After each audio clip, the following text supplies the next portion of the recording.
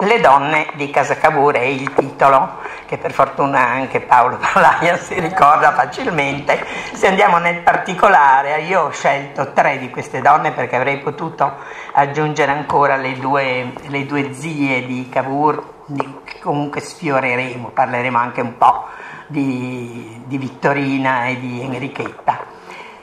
Philippine de Salle, e se la vogliamo chiamare come si chiamava, era savoiarda e quindi il suo nome è francese.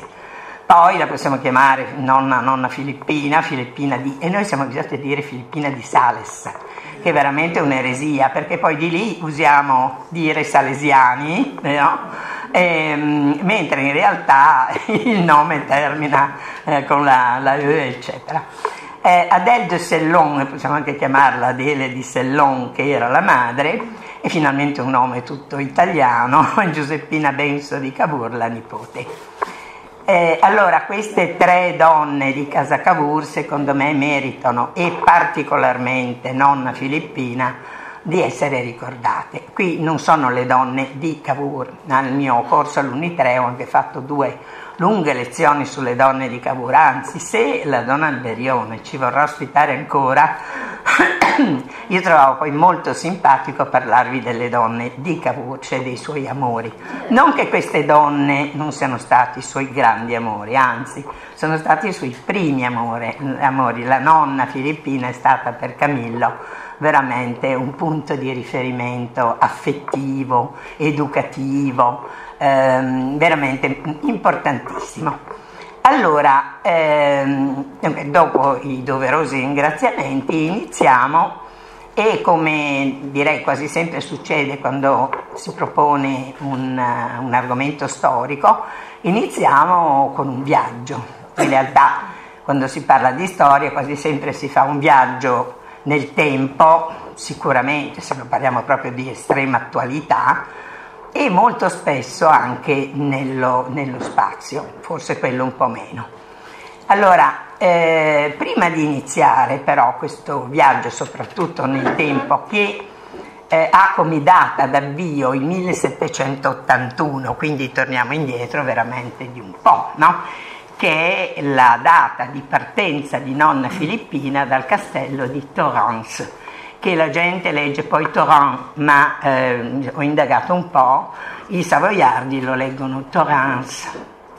E ehm, per quanto la cosa vi possa sembrare un po' bizzarra, visto che il viaggio inizia nel 1781, io ve lo faccio iniziare con un altro personaggio che non è affatto una donna di Casa Cavour, lo vedrete subito e non voglio darmi delle arie, eh, iniziamo eh, in anni più recenti. Io non riesco a ricordarmi se era il 2012 o il 2013, dovrei fare lunghe indagini. E allora, e questa forse la, la riconoscete, non era la nonna di Cavour? No, va bene, allora io eh, da tempo interessata a questo personaggio provo, veramente... Scusami. Allora, eh, interessata e tanto a questo personaggio bellissimo che è stata nonna Filippina, ma interessata anche ai parenti savoiardi di Cavour che sono stati i suoi cugini, che lui andava spesso a trovare, non meno che i cugini ginevrini. Cavour ha avuto tutta questa parentela eh, più europea che non piemontese, diciamo, no? o diciamo appartenente al Regno di Sardegna. Eh, questa parentela è stata importantissima per lui, per la sua formazione, e poi l'ha anche avviato a un interesse europeo che pochi altri uomini del nostro risorgimento hanno avuto. Quindi se parliamo delle donne di Casa Cavour ne parliamo anche perché per Cavour sono state davvero importanti. E allora io, attratta da questo, da questo, castello, da questi luoghi, nel castello poi lo vedrete, c'è, è stato ricostruito lo studio di Cavour, no, perché lui andava lì spesso, gli avevano riallestito uno, uno studio proprio su sua misura. Allora ho fatto questo viaggio di cui ricordo un eh, conservo un bellissimo ricordo e come vedete una fotografia proprio sul, diciamo, sul ponte levatoio del castello di Torrance. Ed è un invito che vi rivolgo. La Savoia è proprio a due passi. La Savoia noi la trascuriamo un po', è una terra magnifica, e ogni tanto così facciamo altri viaggi, viaggetti bellissimi tutti. Però eh, ogni tanto non dimentichiamoci che proprio al di là delle montagne c'è quest'altro pezzo di noi stessi, un pochino sì, no? Perché per quanto non voglia dire che noi siamo sabaudi, io non mi sento sabauda per niente, mi occupo tanto di donne di casa Savoia, di personaggi sabaudi, quando mi vengono a dire ah ma lei è proprio sabauda, mi prende un po' una crisi perché dico no, quello è un altro discorso, però sicuramente quando per secoli una terra è stata strettamente legata a un'altra è neanche stata scissa no? con un atto di forza, d'accordo, i plebisciti, quel che volete. La stessa cosa vale per, per Nizza.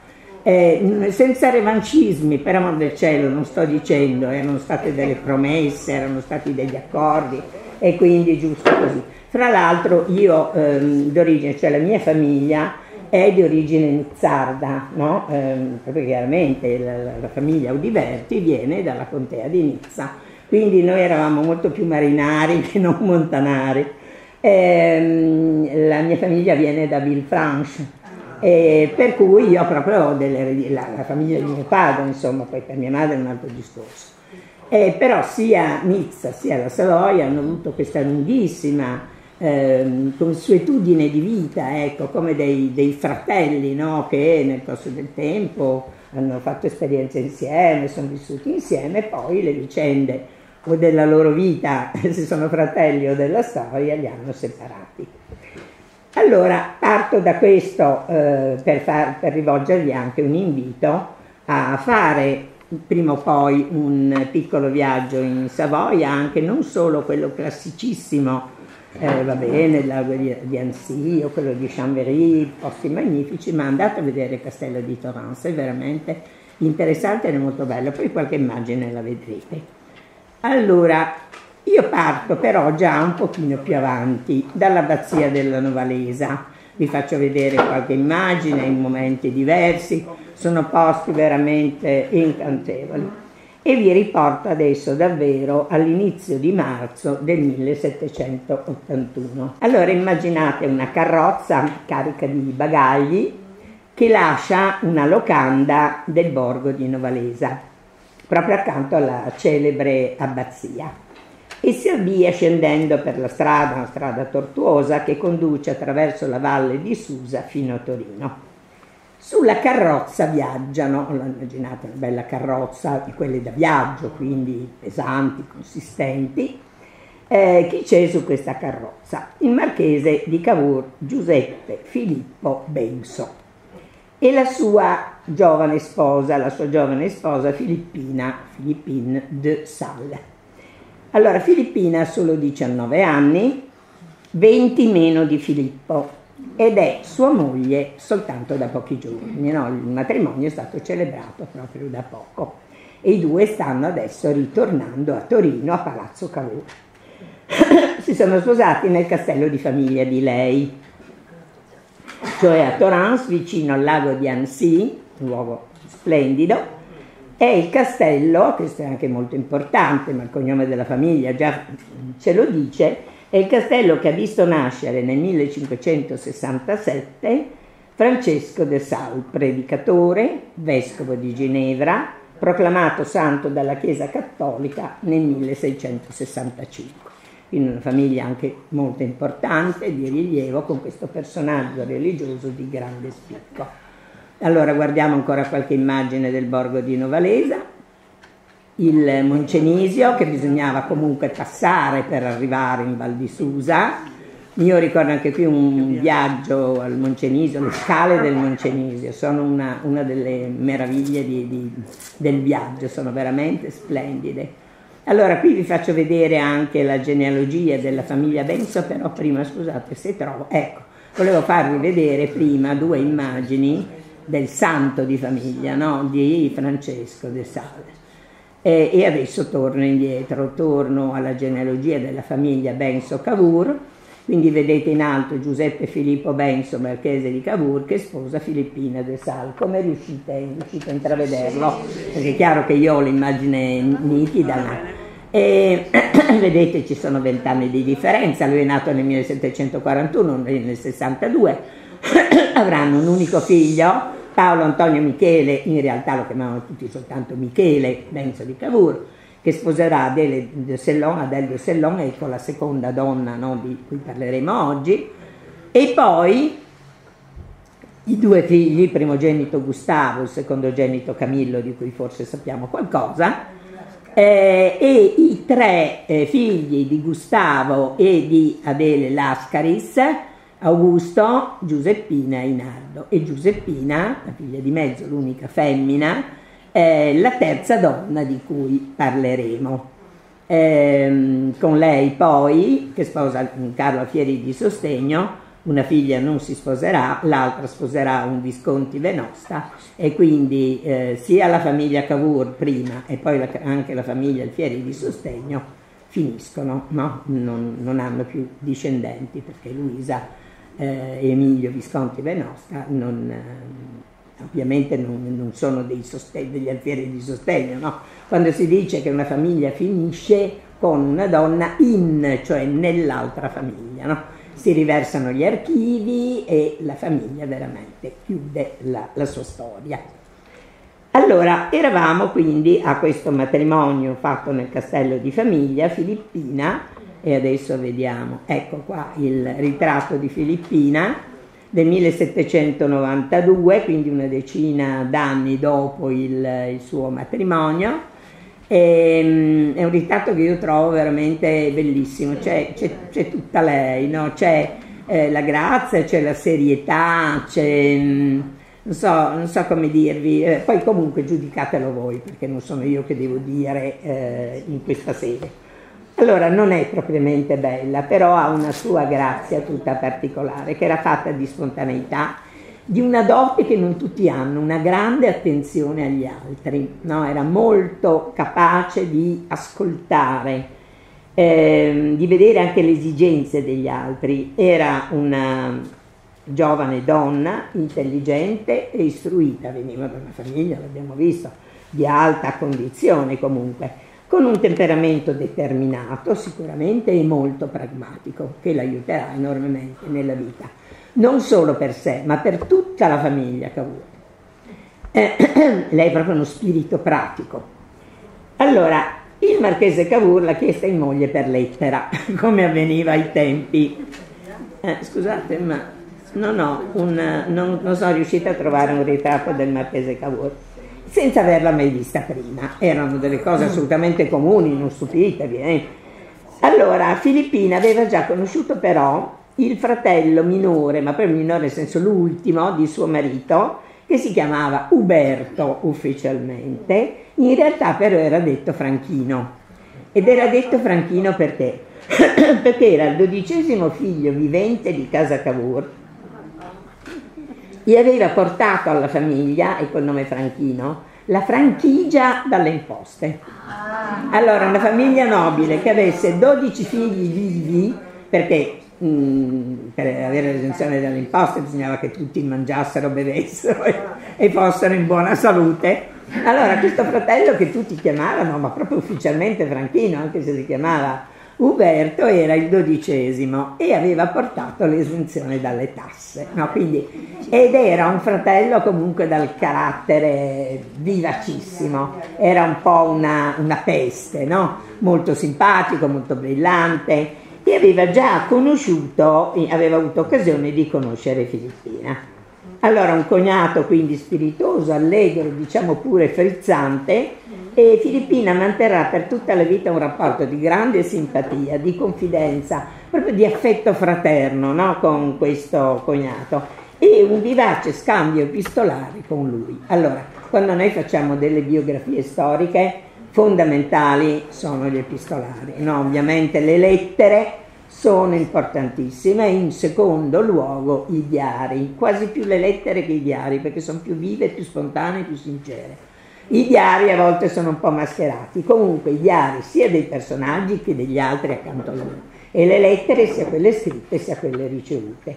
Quindi ringraziamo anche questo scambio epistolare tra Filippina e Franchino se noi abbiamo tante notizie anche curiose no? su Filippina. Allora, certamente un motivo fondamentale per la scelta di questa sposa savoiarda, oltre alle antiche nobili origini della famiglia del Salo, oltre al santo in famiglia, è stata la consistenza della dote. Quindi non inganniamoci, va bene il santo di famiglia, grazie. Però il santo di famiglia va tanto bene, erano tutti religiosi, per carità ma la, la, la dote cospicua era estremamente importante. E aveva 80.000 franchi più 120.000 franchi in gioiello e un ricco fardel, come si diceva, un, corde, un corredo. No? Il fardello, italianizzato da fardel, era il corredo della sposa. Un giorno oh, sono andata in un archivio di Stato e avevo bisogno di eh, notizie sul corredima di Caterina di Spagna. No? Mi trovo un archivista che quando io gli parlo di corredo, giuro, lo dico perché sono rimasta malissimo, non distingueva il corredo dalla dote. Io ho detto possibile, ma un archivista. Ho provato a dirgli, ma sta correndo il fardel, dico magari a questo punto si illumina. Niente. Eh, ma sì, ma la dote, ma era preziosa e quella. Ma no, dico scusi, distingua per favore le mutande, le camicie da notte, le lenzuola, i fazzoletti, da quelli che sono i gioielli, eccetera. Vi giuro, succede anche di questo. Vabbè. Comunque, eh, molto importante quindi questa cospicuità. Mm, una cosa rapidissima, devo essere rapida. A Torino c'erano tre tipi di spose. C'erano le spose indigene, diciamo, autoctone, le spose piemontesi. Poi c'erano le spose savoiarde, no? A un certo punto anche le nizzarde, comunque che venivano dalle zone limitrofe no? del, del Ducato e alla fine c'erano le spose francesi e in particolare le parigine. Allora, le spose piemontesi, moglie e buoi dei paesi tuoi e tutti più o meno conoscevano bene le famiglie, conoscevano bene difetti e virtù, no? Perché erano un po' le ragazze di casa, erano magari le ragazzine con cui avevano giocato da piccoli, le sorelle dei loro amici, va bene? E va bene, riservavano meno sorprese. Le spose savoiarde, in parte anche le iniziarde, erano le più toste, quelle che raddrizzavano le famiglie e i patrimoni, no? quelle abituati o alla vita dura della montagna, perché lui era comunque, anche se la famiglia era già alta, eccetera, o alla vita dura del mare, che non lo era meno, perché c'erano uomini che andavano per mare, per guerra o, o per altri motivi. E alla fine c'erano le spose francesi e quelle erano un sogno, quando uno andava, pensate alla Verrua, no? La contessa di Verrua, un'idea vaga ce l'avete eh, quando il conte di Verrua va a scegliersi la sposa a Parigi e torna, eh, avevano tutti gli occhi grossi, incantati, no? Certamente la sposa eh, francese, poi parigina, era quella più, prestigiosa. certo, prestigiosa, quella eh, più affascinante, eh, quella eh, che aveva gli abiti più eleganti nel corredo perché arrivavano da Parigi e così via ma davvero eh, c'erano queste tre categorie di spose ed era anche logico, insomma, perché, anche perché poi, ricordatelo, lo dice Umberto Eco nel cimitero di Praga, aveva ragione, per noi piemontesi, qui lo nego, qui lo, qui lo, eh, qui lo dico, qui lo nego e chiudete la porta che nessuno lo senta fuori.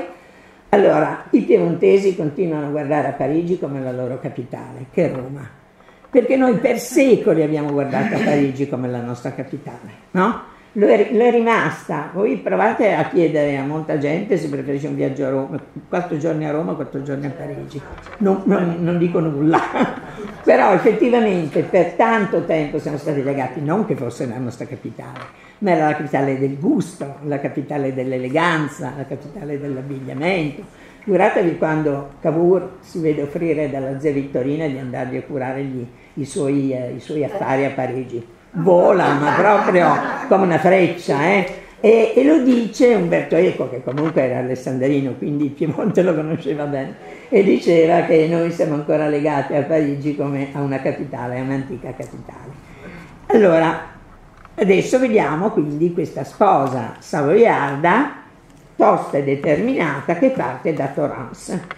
Porta con sé la sua nunù, la sua nunù era la sua baglia, no?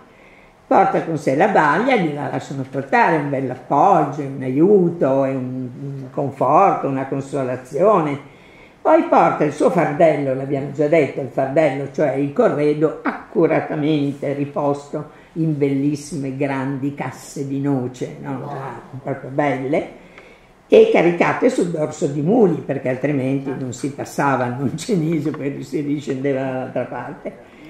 E poi tiene in grembo, e questo è un particolare assolutamente delizioso, ma storicamente accertato, eh, un, una pianticella di abete una pianticella di abete della sua natia Savoia, è proprio un ricordo di questi verdi boschi, degli ghiacciai scintillanti delle sue montagne. Questo piccolo abete andrà poi a Santena, sarà piantato a Santena. No?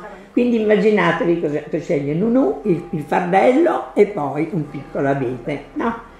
La madre però, e questo è il regalo forse più prezioso e prestigioso, al momento del congedo le fa dono della piccola acquasantiera d'argento che era appartenuta al lago e santo Francesco de Sales. No?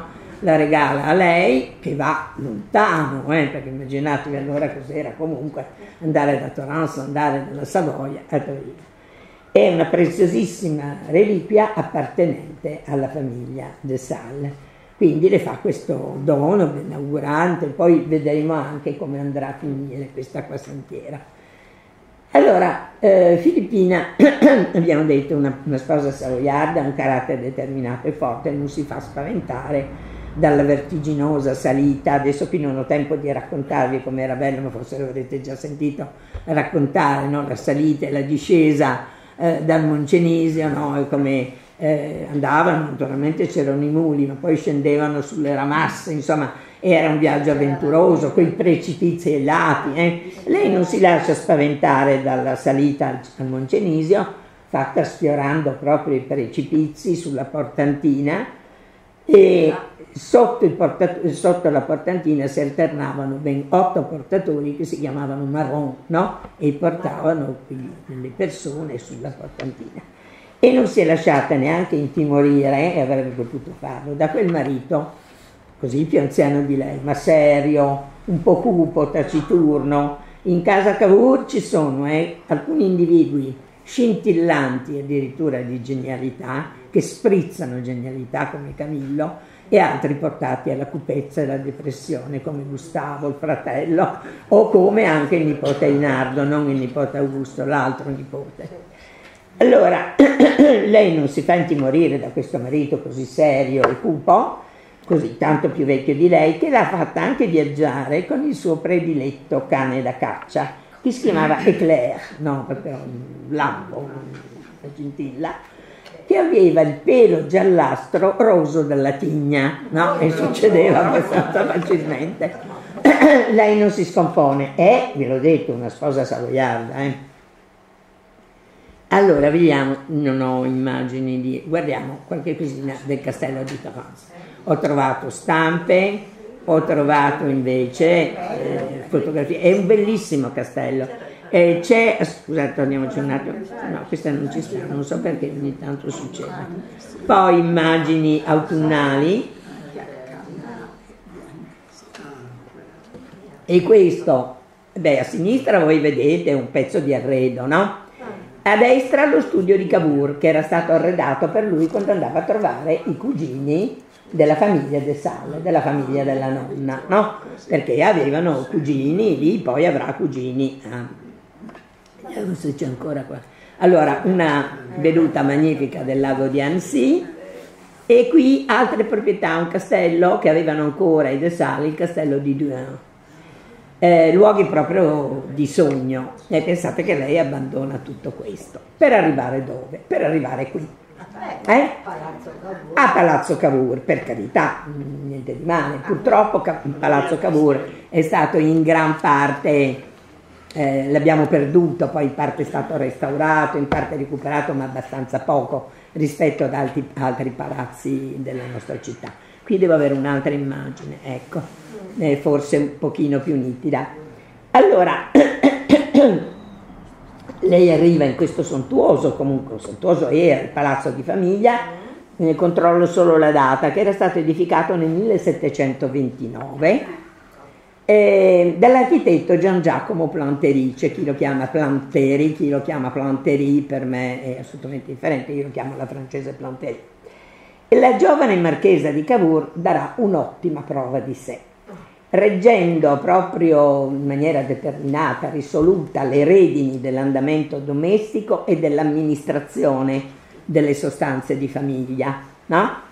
sostenendo con il suo senso pratico la debolezza del marito che era oppresso dai debiti e tartassato dagli usurai. Quindi questo marito non aveva una grande forza, non dico morale, ma proprio la, la, la tempra del lottatore, mentre la lottatrice di famiglia è veramente lei.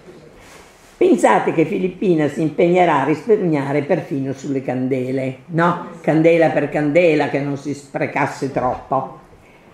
Eh, allora, Giorgio Dell'Arti, che aveva scritto la sua vita di Cavour, se vi ricordate, appuntate, era il 2011 forse per il 150 dell'Unità d'Italia, nella, sulla stampa, no? che c'erano le varie puntate, le ho ritagliate tutte, non so più dove sono, ma non importa una savoiarda tutta ad un pezzo la definisce e ve l'ho già fatto intuire, no? Sarà lei veramente il saldo punto di riferimento economico e anche affettivo, perché non pensiamo che con tutta la sua abilità di amministratrice fosse una donna che trascurava i sentimenti. No, era bravissima a reggere le, le, le sorti economiche della famiglia, ma anche a voler bene a tutti, ad ascoltare tutti. Vi ho parlato prima di questa virtù dell'ascolto che secondo me è molto importante ehm, nei, nei, rapporti personali e familiari. Qualcuno che ascolta e quanto ascolterà il piccolo Camillo no? e quanto farà attenzione a lui. Allora, tenete anche presente che sarà questo punto di riferimento di Casa Cavour per quattro generazioni.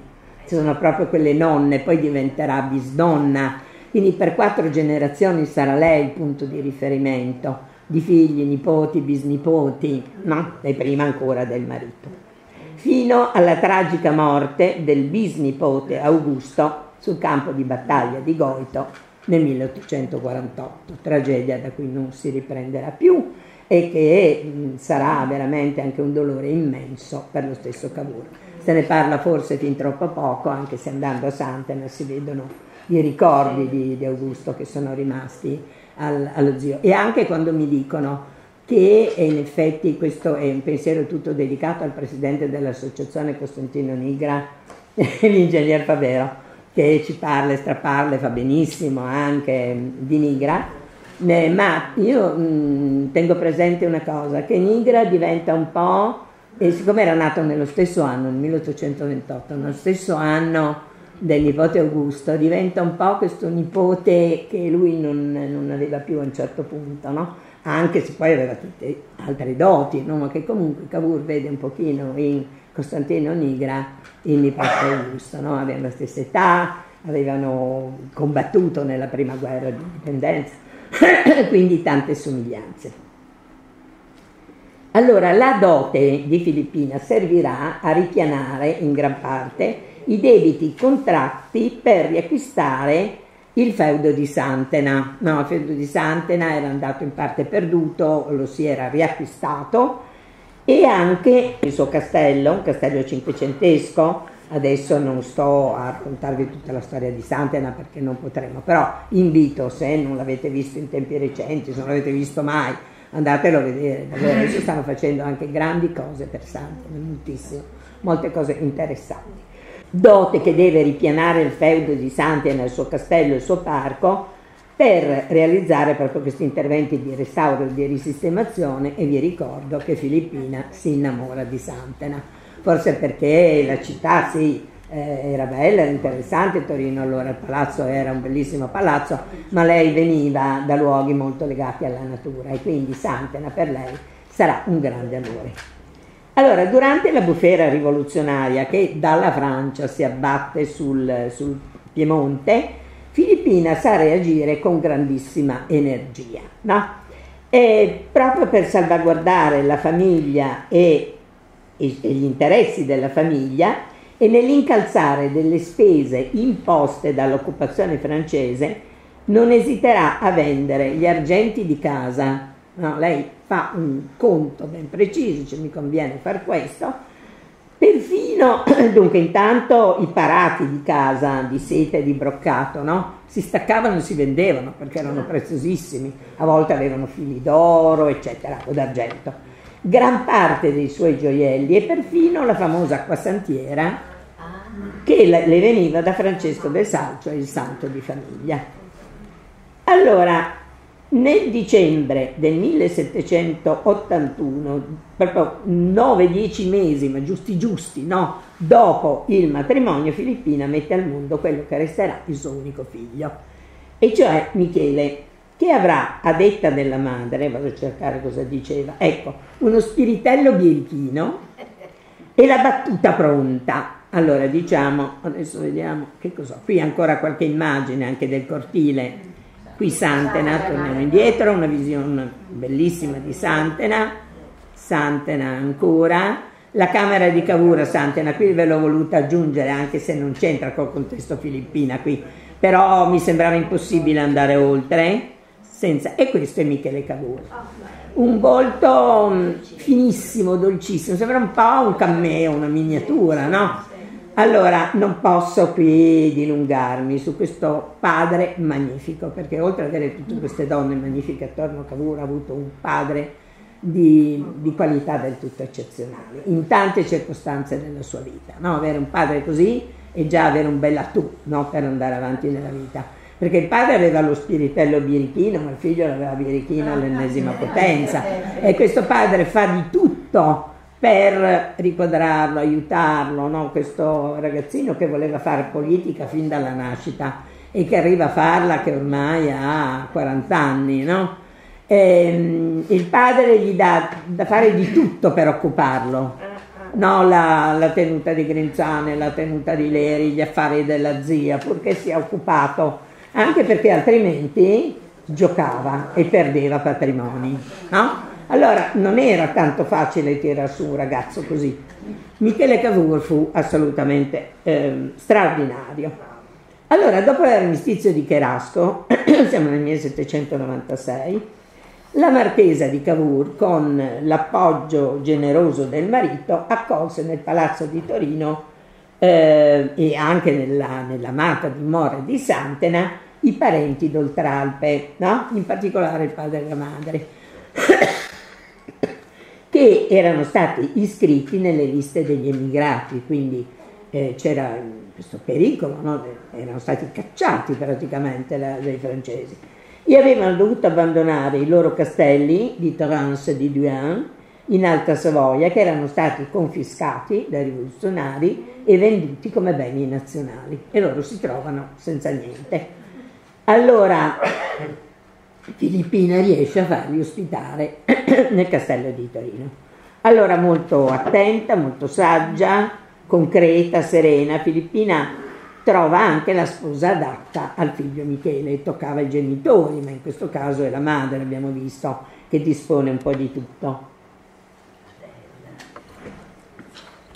Allora, e qua c'è la genealogia della famiglia del Sellon, una famiglia ginevrina in cui lei va a cercare questa moglie, allora, voi vedete ci sono tre sorelle, Victoire, Adèle, Henriette, no, poi ci sono le varie vicende.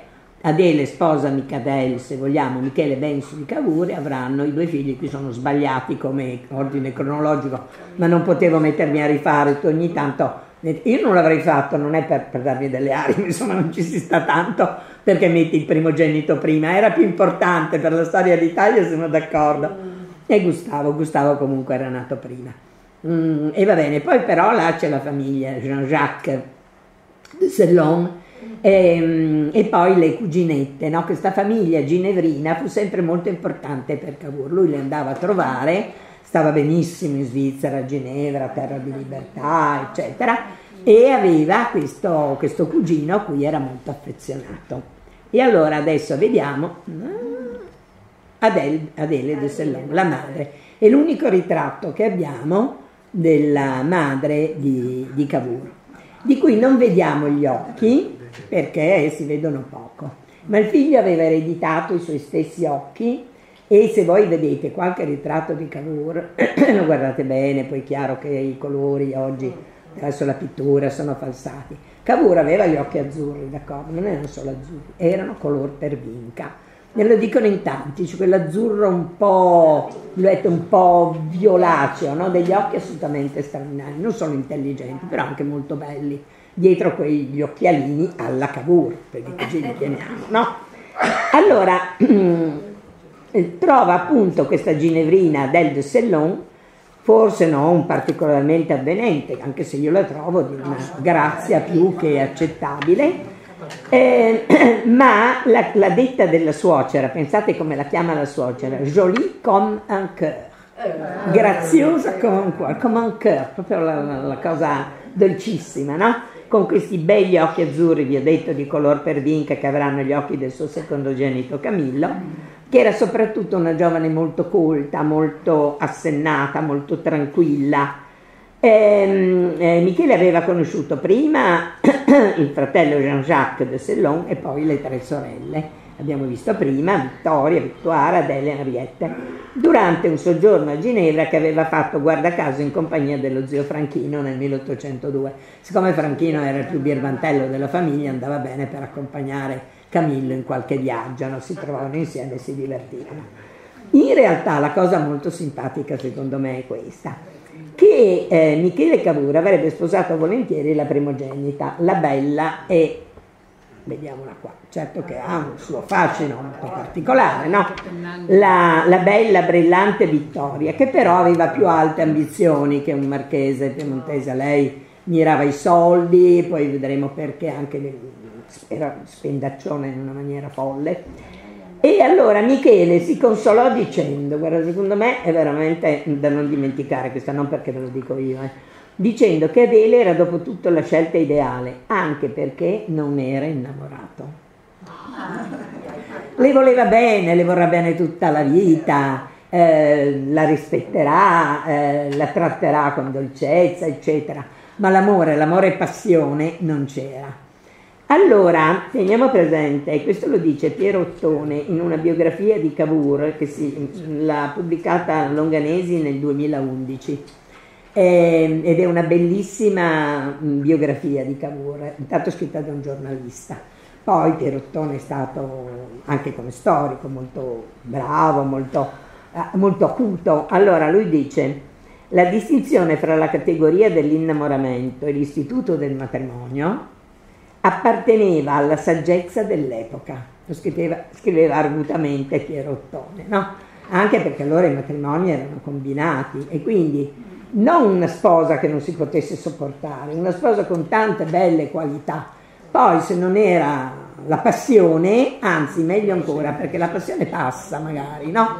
E l'amore saldo, la, come dire, essere buoni compagni, buoni amici, oltre che coniugi, ha anche la sua importanza. Allora, il matrimonio di Michele Adele de Sellon sarà celebrato, vi guardo la data, il 17 aprile del 1805. Adele, anche Adele ha una dote consistente, anzi ancora più della, di, della nonna filippina. 120.000 franchi, quindi diciamo che la nonna filippina aveva guardato bene, si era guardata bene attorno per trovare la moglie no? per il figlio. 120.000 franchi, poi aveva un carattere dolce, equilibrato, molta sensibilità e sarà comunque un'ottima moglie per Michele una nuora molto, molto amata, molto stimata dalla suocera. Quando il Piemonte sarà annesso alla Francia, e siamo nel 1802, e poi con l'arrivo a Torino nel marzo del 1803 del generale Menù, il generale napoleonico, quello famoso del Piazza Pulita, no? di quello che voleva eh, abbattere Palazzo Madama per far Piazza Pulita per le esercitazioni militari in Piazza Castello, la marchesa Filippina Benso, sperando di recuperare i parenti che erano stati espropriati, no? le proprietà perdute in Savoia, e facendosi interprete delle istanze della famiglia, quelle economiche della famiglia Cavour, promosse l'avvicinamento della famiglia al governo francese, che divenne poi aperta collaborazione col governo napoleonico. Allora anche qui devo fare, istituire tre categorie alla veloce, come le tre spose.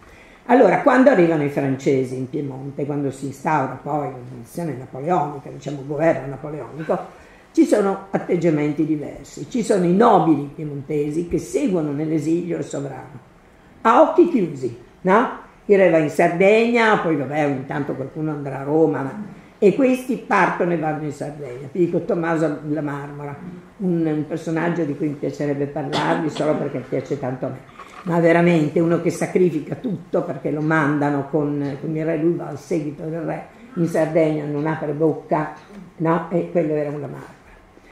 Poi ci sono quelli invece che non vogliono sottostare al governo eh, napoleonico e se ne vanno in esilio.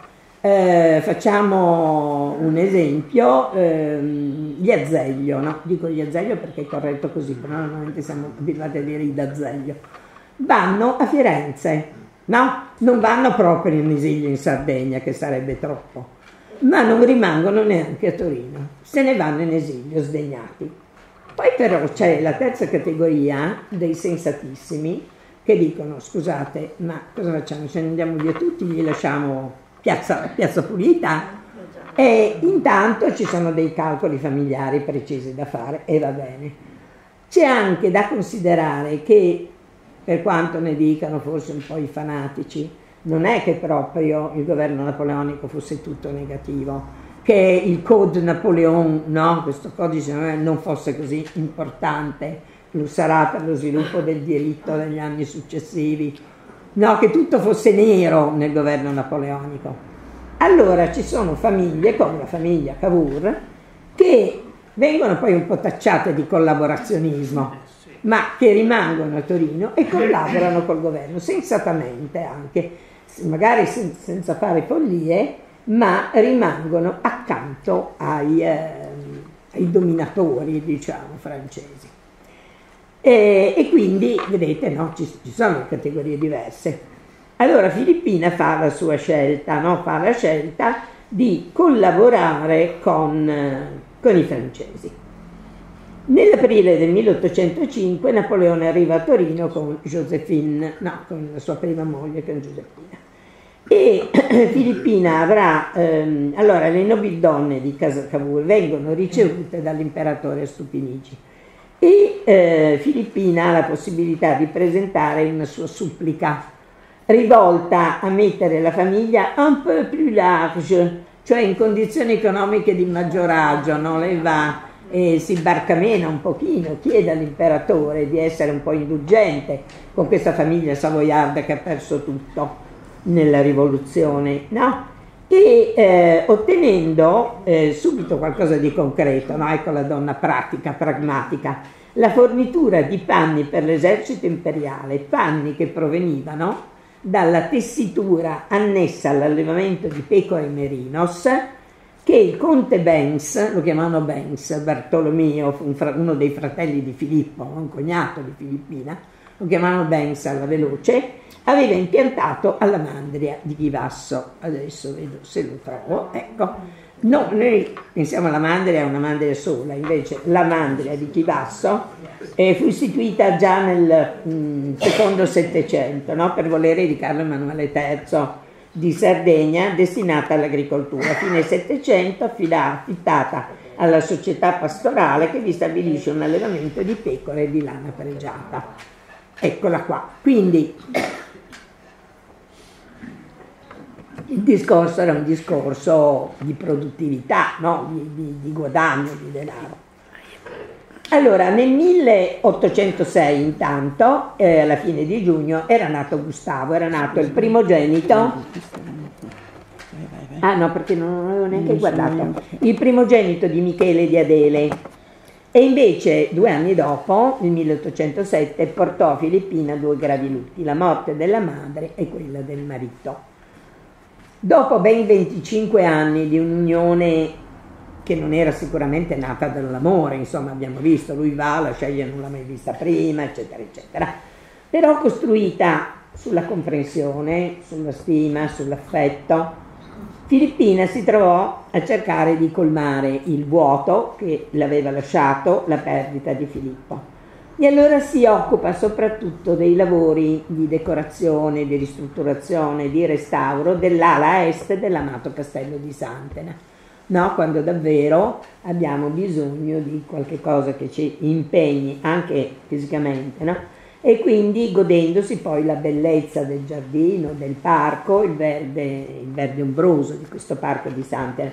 Anche qui non posso dilungarmi, ma pensate che il parco di Santena, che poi fu poi affidato al prussiano Curten, che era stato direttore del parco di Racconigi, eh, contiene una cinquantina di specie arboree diverse, una bellissima passeggiata anche quella, non solo Santena ma anche il suo parco. E tra la fauna vediamo pettirossi, usignoli, scoiattoli, lepri, eccetera. E lei amava molto Santena, ve l'ho detto, quindi si impegna in questa sua vedovanza che la lascia, le lascia un grosso vuoto, a lavorare per Santena e a godersi però anche Santena. Se non che arriva nella sua vita qualcosa di imprevisto che la impegnerà ben diversamente. Nel 1808 Napoleone nomina governatore del Piemonte il cognato principe Camillo Borghese. No, scusate un attimo, prima volevo farvi vedere Gustavo Cavour, ovviamente adulto, prima ho detto nasce Gustavo. Mi spiace di non avere un fantolino da farvi vedere, va bene, ma di farvi vedere un Gustavo. Giuro che in genere Gustavo Cavour non si fa vedere mai. Eh? E sono stata io ad andarlo a cercare e dico, ma com'era questo fratello di Cavour? Bell'uomo, eccolo diciamo, era un bell'uomo.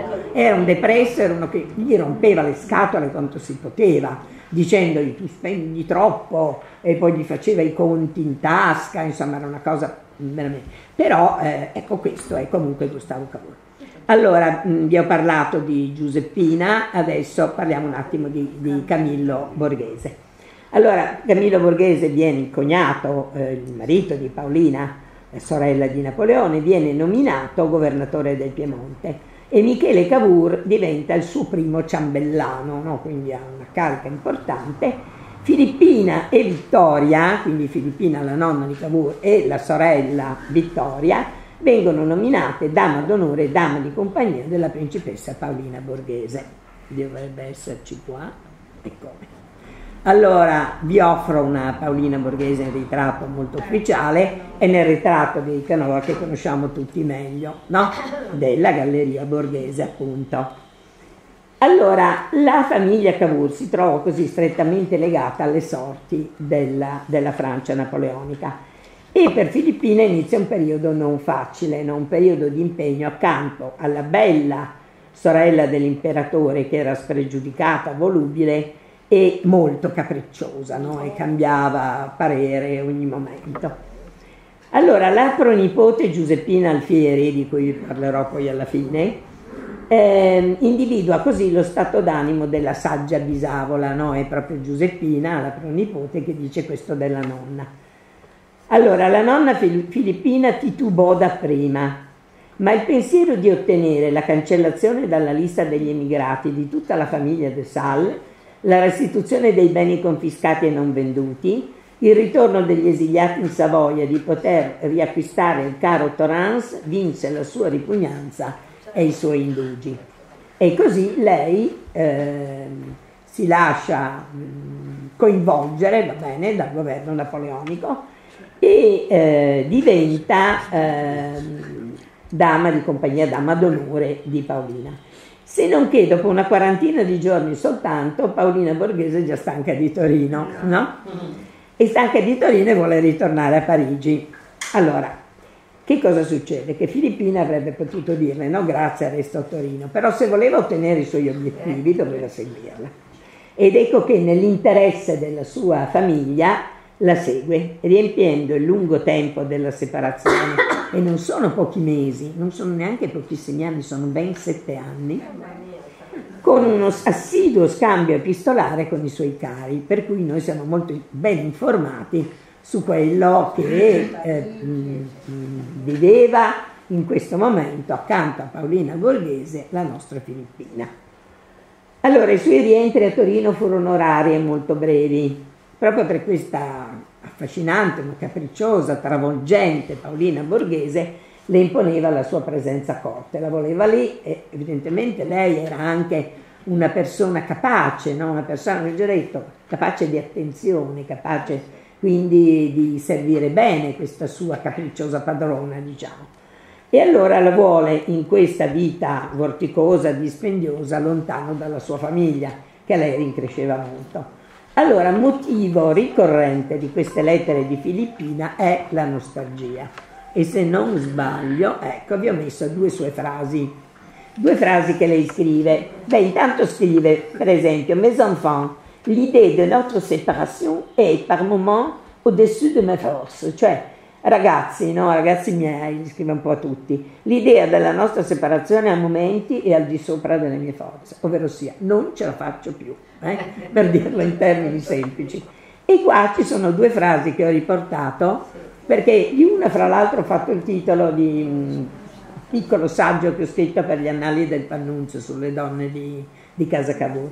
Ed è proprio il n'y a qu'un bonheur, celui de vivre avec ceux qu'on aime non c'è che una felicità, quella di vivere con coloro che amiamo, di coloro che si amano, non di coloro che si amano.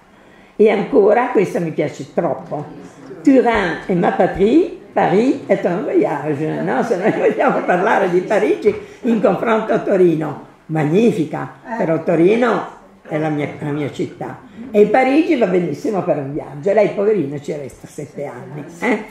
Allora ve l'ho riportato perché così vi, vi si fissa un po', no?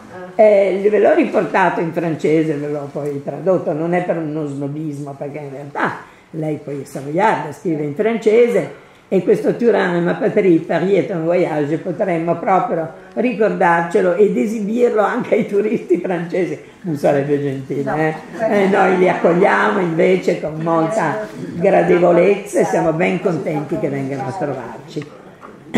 allora, che cosa ho adesso? Ah, e qui esordisce Cavour. Allora, qui vedete un giovanissimo Cavour con gli occhi color per vinca. Ce lo vedete, qui aveva degli occhi azzurri, ma non un azzurro normale, un azzurro sfumato di violetto. Eh? Le sue donne lo sapevano bene che occhi aveva. Allora, intanto, il 10 agosto 1810, tenete presente, era un leone, era nato il secondogenito di Michele Cavour e di Adele, e de Sellon, che sarà tenuto a battesimo nella chiesa di San Carlo a Torino, quindi sappiamo tutti dov'è, eh, tenuto a battesimo dalla nonna Filippina e dal prozio Banks, no, quello che chiamava Banks Bartolomeo, il cognato di Filippina. Rappresentanti per procura di chi? Di Camillo e di Paolina Borghese, quindi in realtà il padrino e la madrina erano di altissima collocazione sociale nell'Europa del tempo e al bambino perciò verrà imposto il nome di Camillo. Io ogni tanto sento dire delle cose divertentissime su nome, perché se, se, uno non lo sa, non è che poi sia obbligatorio, per amore del cielo, però uno dice ma, ma Cavour, ma perché si chiamava Camillo? Ah, ma probabilmente il nonno, ah, ma... È Camillo perché era Camillo Borghese, no? quindi il, il nome gli viene appunto da Camillo Borghese. Allora, per questo secondo nipote, io adesso ve lo faccio vedere qui, immagini giovani, questa qui è troppo carina. Allora, noi critichiamo i ragazzi col ciuffo che vediamo, che vediamo sul bus o che vediamo per strada. Però scusatemi, anche lui è un'altra cosa, se andando a casa mm, cercate un momentino su internet, Provate a vedere la pettinatura a schiaffo di Roberto Taparelli da Zeglio. Massimo da Zeglio era pettinato da mano, Roberto aveva una pettinatura a schiaffo che era sì proprio così, no? Incredibile. Ed era un uomo serissimo. Cavour non era un uomo serissimo, nel senso che era un uomo molto serio, moralmente, tutto quel che volete. Però era un firma, eh, diciamo, mettiamo che era un Pierino la peste. Allora, qui gli occhi color per vinca si vedono comunque sempre, anche nelle stampe in bianco e nero, no? Questi occhi fascinosi e questo ciuffo io lo trovo veramente impagabile perché se lo proponete a tutti quelli che già hanno cri- criticano i monumenti a Cavour, figurate quello che abbiamo noi in Piazza Carlina che ha avuto tutte le critiche di questo mondo.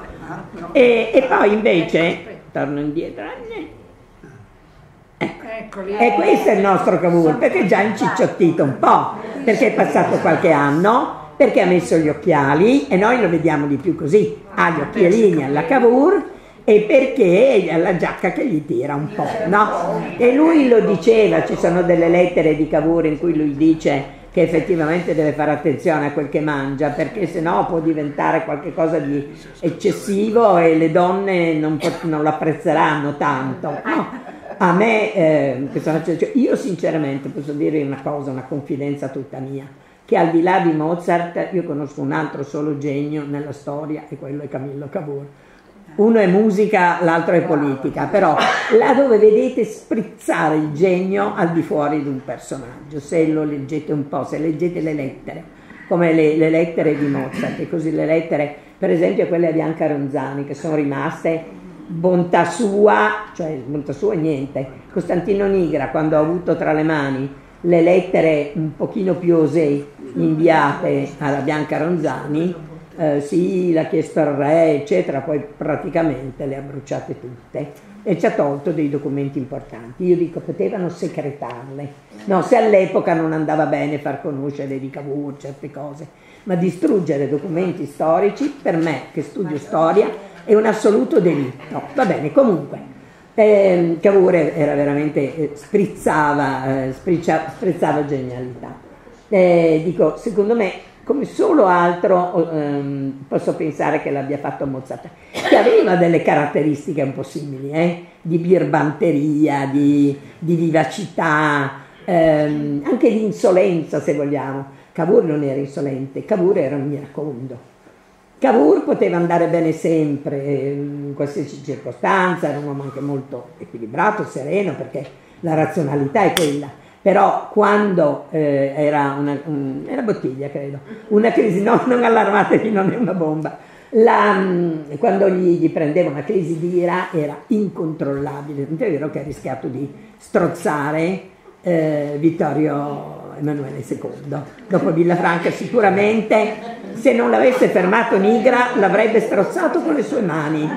Gli ha detto delle cose innominabili, va bene. Comunque adesso torniamo a queste, queste, immagini, non volevo dilungarmi su di lui perché in realtà devo parlare della nonna, non, non, non c'entra. Allora, eh, dunque, per questo secondo nipote la nonna aveva una vera predilezione, però vedeva chiaramente tutti quelli che erano suoi, le sue qualità e tutti quelli che erano i suoi, i suoi difetti.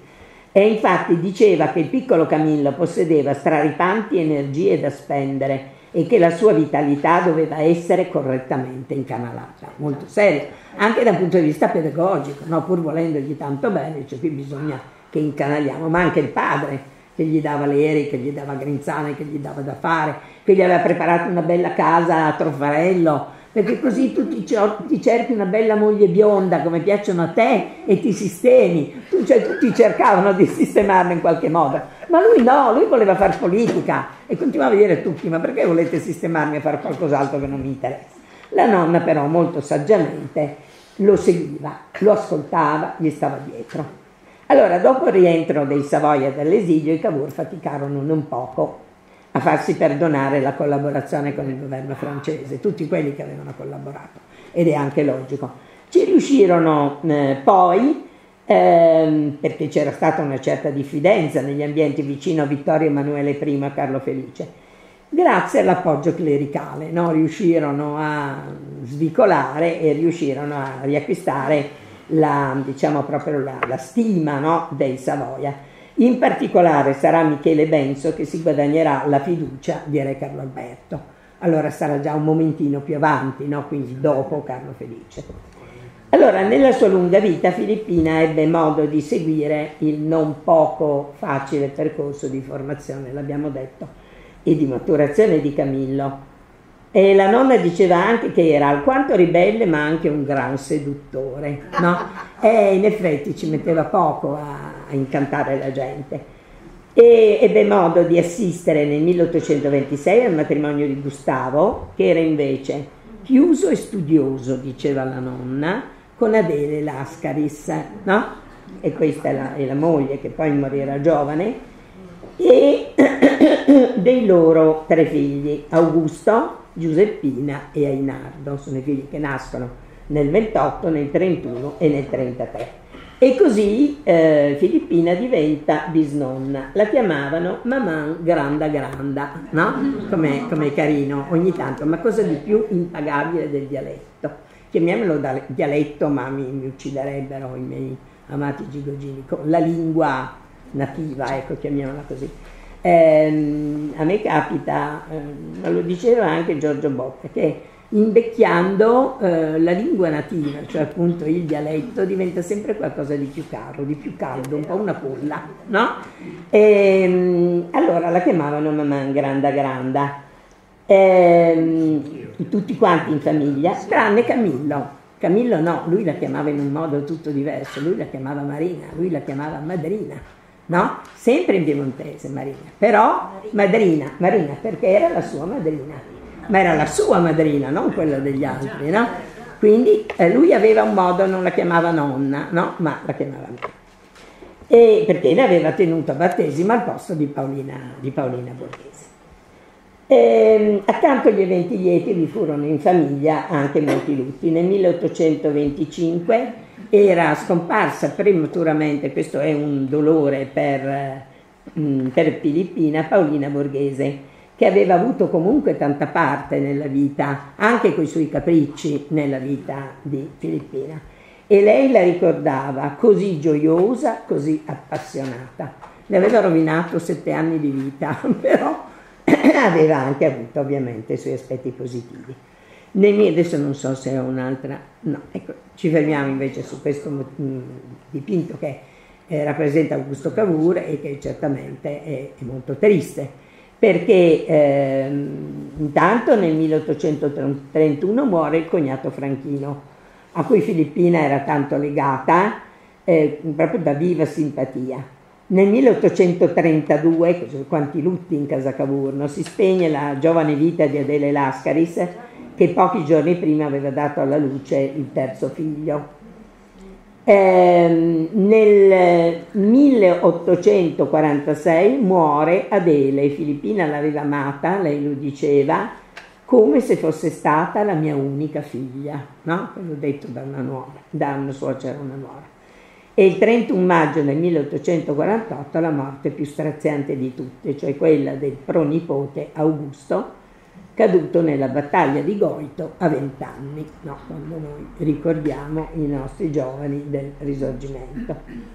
Allora la mamma Granda Granda non gli sopravvisse neppure un anno e Filippina, Filippina de Sal, marchesa Benso di Cavour, morì a Torino il 15 aprile del 1849.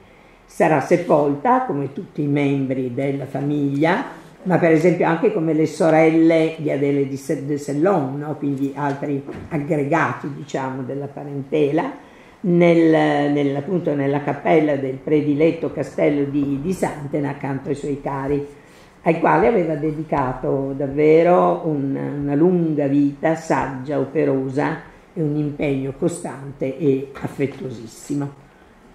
Allora, adesso allora, ci fermiamo solo un momentino su, eh, su questa immagine e, scusate, volevo vedere.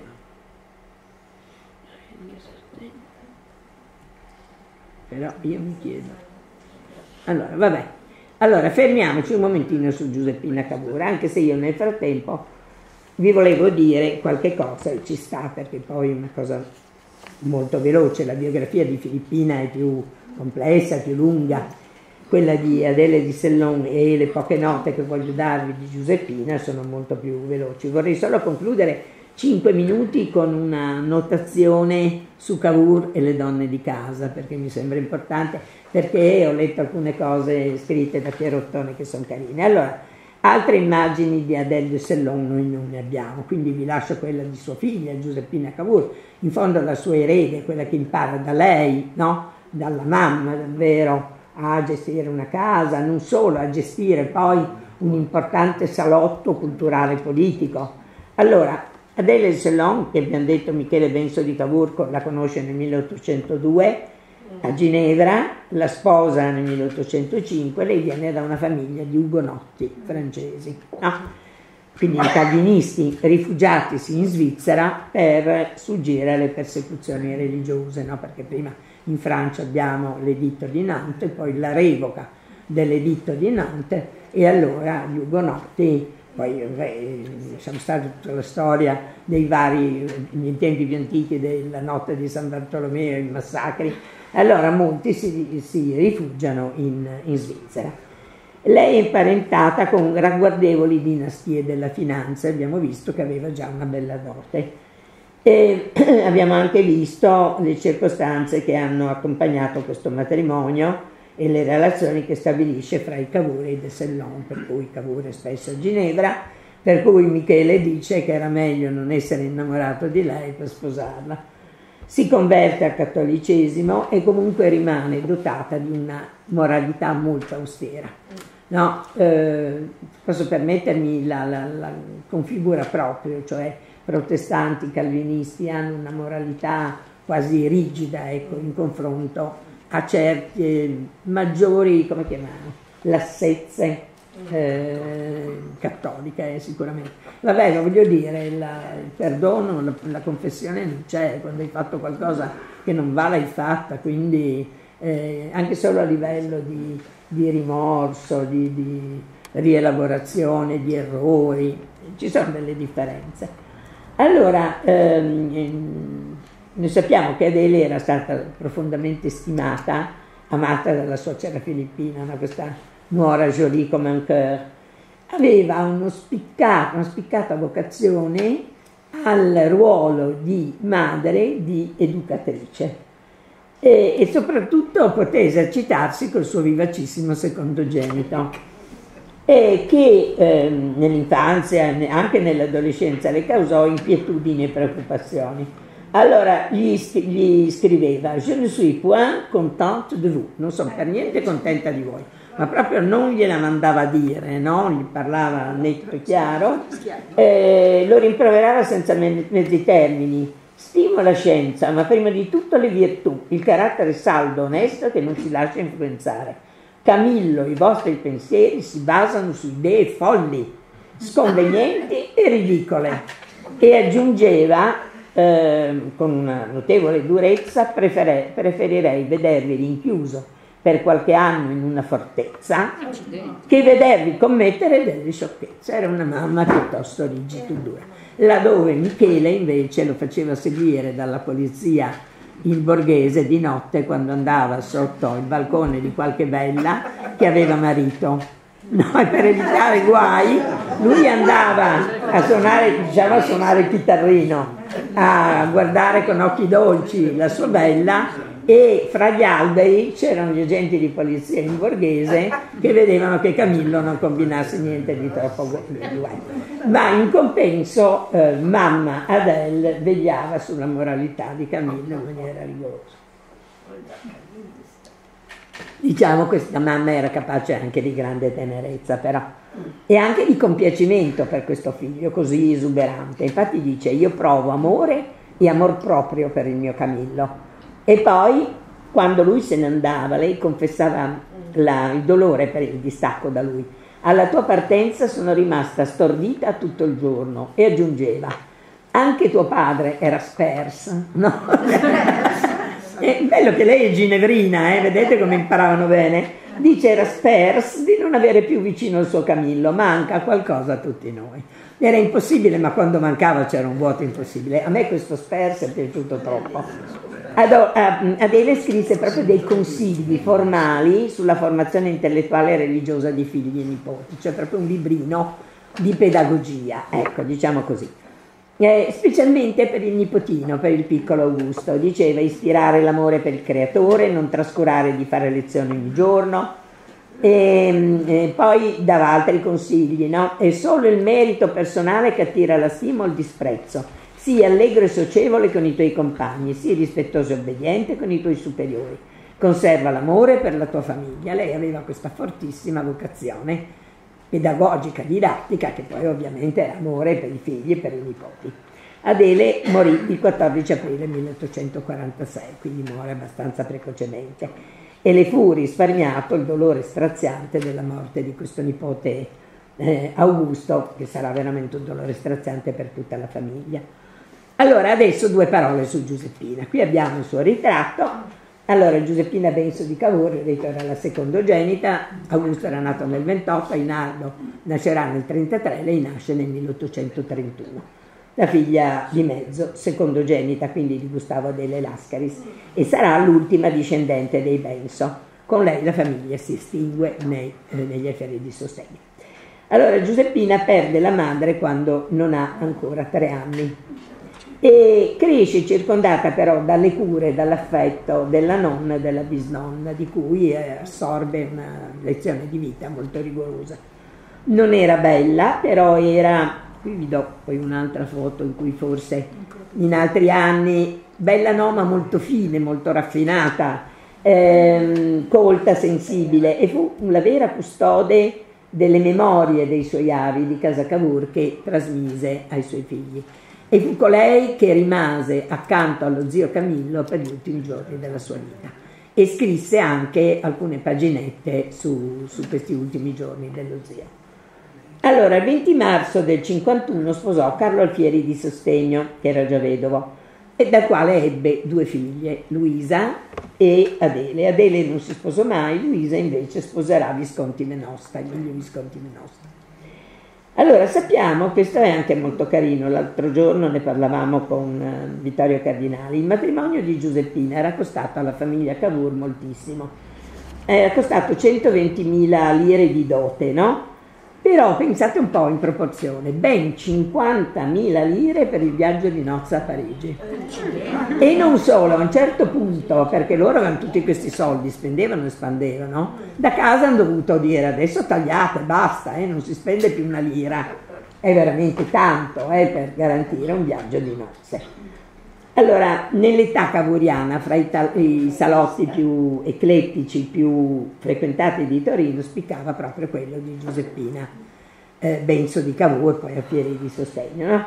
Si incontravano, ricorda Bersezio, gli ambasciatori delle potenze amiche, ma anche immigrati dagli altri stati della penisola, cioè ricordiamo che Torino diventa un po' la Svizzera o la Francia, dei, eh, degli immigrati, degli esuli no, in questo periodo, eh, come sotto il fascismo, no? eh, si rifugiavano in Svizzera, si rifugiavano in Francia e questo è il momento in cui gli immigrati trovano rifugio in Piemonte. E mm, Henri di Deville diceva che era il solo vero circolo politico di Torino, non a caso lei era la nipote di Cavour. La padrona di casa accoglieva l'elite sociale e anche culturale torinese, però anche artisti, no, le interessava anche l'arte. Allora fu Giuseppina, lo ripetiamo, ad assistere lo zio Camillo nell'estrema malattia che doveva portarlo prematuramente alla tomba. A lei dobbiamo il racconto degli ultimi otto giorni di vita del grande statista. Giuseppina lo scrisse a qualche distanza di tempo, quindi non immediatamente, più come memorie che non come diario, quindi non giorno, tutti i giorni, anche perché era talmente presa dalle incombenze, dal dolore, che non ce l'avrebbe fatta. E mm, Piero Ottone dice, certo, non poteva ricordare ogni particolare con precisione, ma è probabile che i suoi appunti nel complesso siano veritieri, quindi sono stati valutati positivamente. Si tratta di un racconto estremamente prezioso per lo storico e anche commovente molto commovente per la memoria privata dell'autrice. Lei era l'unica donna di casa no? e molto legata anche allo zio. E ricorda, lo zio mi carezzò la guancia, mi baciò due volte, mormorò grazie a Dio, piccola mia, e sono le sue ultime parole. Giuseppina Alfieri, nata Benso di Cavour, morì nel luglio del 1888. Abbiamo detto che eh, le, le, con le sue figlie, Luisa che sposa Emilio Visconti Venosta e Adele che rimane nubile, si estingue la famiglia Alfieri di sostegno. Allora, se avete pazienza, ancora proprio solo 5 minuti, dunque adesso vediamo se ho, questo è Carlo Alfieri di sostegno, questa Luisa Visconti Venosta, l'unica figlia che si sposa, e questo Emilio Visconti Venosta. Avevano un'aria un po' da bulli, eh, però i nostri uomini politici dell'epoca guardate questi pantaloni chiari, le mani in tasca, ecco.